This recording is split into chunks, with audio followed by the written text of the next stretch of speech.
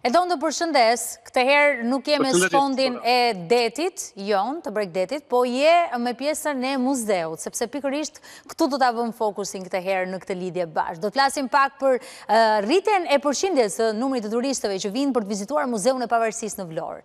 Nga janë këta kaq kureshtarë për të ditur për historinë e Shqipërisë?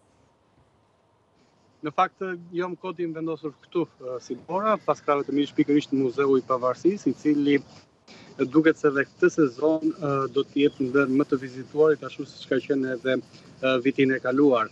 Në kontaktin, intervistën që kemi marrë me drejtorin e muzeut, më është konfirmuar që të paktën edhe përpara muajve të sezonit turistik, por edhe gjatë vitit të kaluar, Muzeu i Pavarësisë në Vlorë ka patur një rritje të konsiderueshme që ka shkuar deri në dyzet e pesë për qind të vizitorëve krahasuar me periudhën e një viti më parë. Ndërkohë që duke filluar nga data një korrik deri në datën dhjetë shtator, pra kur pritet edhe fluksi i madh i turistëve, është ndryshuar edhe orari, duke shtuar pikërisht orarin në orët e mbrëmjes. Pra, nëse gjatë periudhës së dimrit punohet deri në orën 19 apo 20, gjatë verës do të punohet deri pas orës 22. Nëse ka një orar deri në orën 22, do të tejkalohet ky orar, nëse do të ketë pikërisht turistë të cilët do të afrohen për të vizituar Muzeun e Pavarësisë.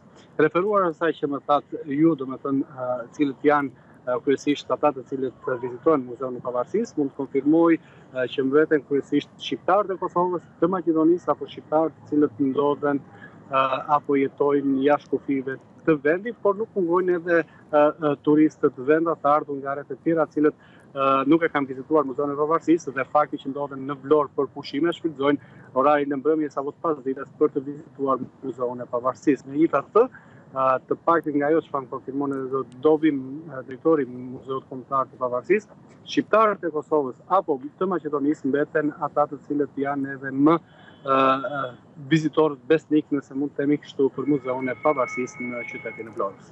Sepse është shumë me vend për t'jua treguar edhe brezave të rinj të gjithë historinë apo jo. Ne e ndjekim bashkë. Po. Ka diçka shumë shumë të bukur Sibora, para se të ndjekim drejtorin Dobi apo ato çfarë kemi marrë dhe intervistat e qytetarëve, që ka edhe fëmijë të vegjël të cilët sillen nga prindërit për të vizituar Muzeun e Pavarësisë dhe kjo padyshim që ka një domethënie shumë të madhe.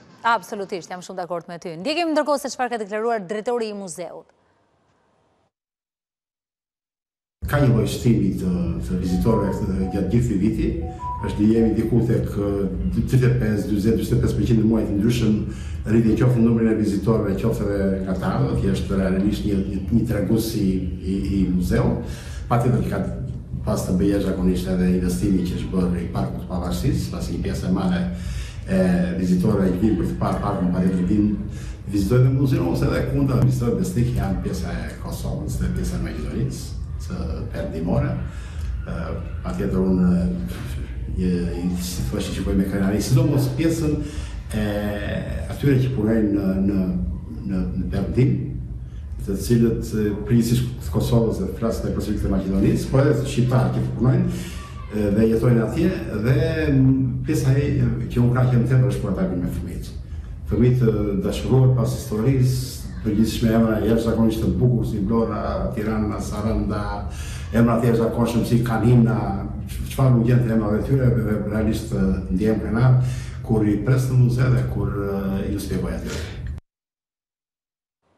Elton, edhe një pyetje, kur flasim për këta vizitorë, që kryesisht janë shqiptarë të Kosovës apo të Maqedonisë së Veriut, të cilët janë të interesuar për Muzeun e Pavarësisë, janë vizitorë, turistë që vijnë me pushime afatgjata, domethënë bëjnë një javë, dy javë në bregdetin e jugut dhe zgjedhin pastaj që një nga këto ditë të vizitojnë edhe Muzeun e Pavarësisë, apo ka edhe gjatë fundjavave për shembull, kureshtja është e lartë.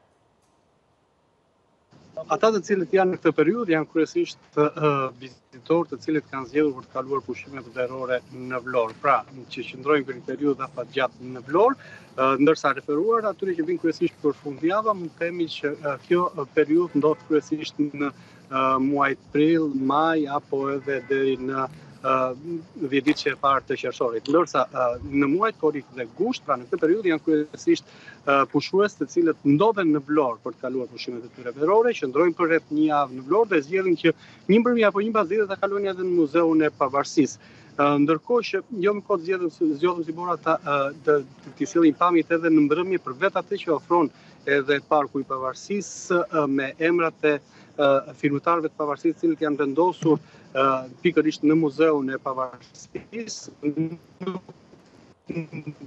dukshme ditën sepse edhe për shkak të temperaturave të larta apo për diellin, por natën është me të vërtetë një pamje fantastike dhe ato dritat e vogla që tregojnë edhe emrat e firmëtarëve të, të pavarësisë. Po, pra është një ambient që uh, pushuesit, siç e tha edhe Ndo do parë që tha edhe pak më parë, shqiptarë nga Kosova, Maqedonia apo edhe nga tjetë, dhe zgjedhin që të ishte vizë me varësi. Jo me me me iso. Ka të tjerë ata nga të cilët edhe rikthehen. Anton, as nuk e vë në dyshim të gjitha këto që je duke i transmetuar edhe për publikun. Faleminderit shumë për raportimin e drejtpërdrejtë.